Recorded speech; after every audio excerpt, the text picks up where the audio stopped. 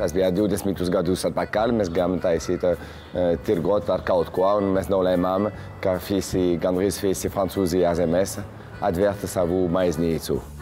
Pamats recepts ir uh, franču recepts, bet mēs izmantojam tikai tipiskās latviešu uh, sastāvvēlās.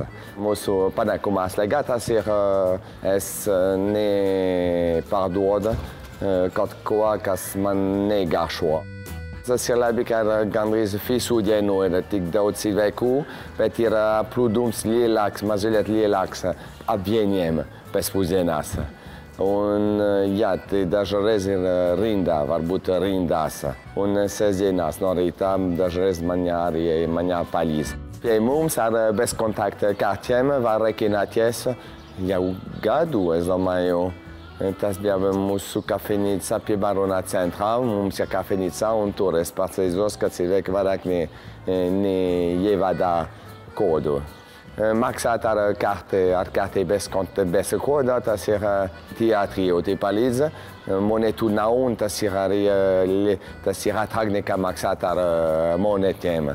Es gribētu, lai nākotnē cilvēku maksātu biežāk ar karti bez kontakta un mazāk, mazāk ar, ar monētām. Nekad neesmu vērojis, ka cilvēki baidās maksāt ar karti bez, bez kodā. Vienmēr cilvēki vienmēr uzticās saviem, saviem kartēm.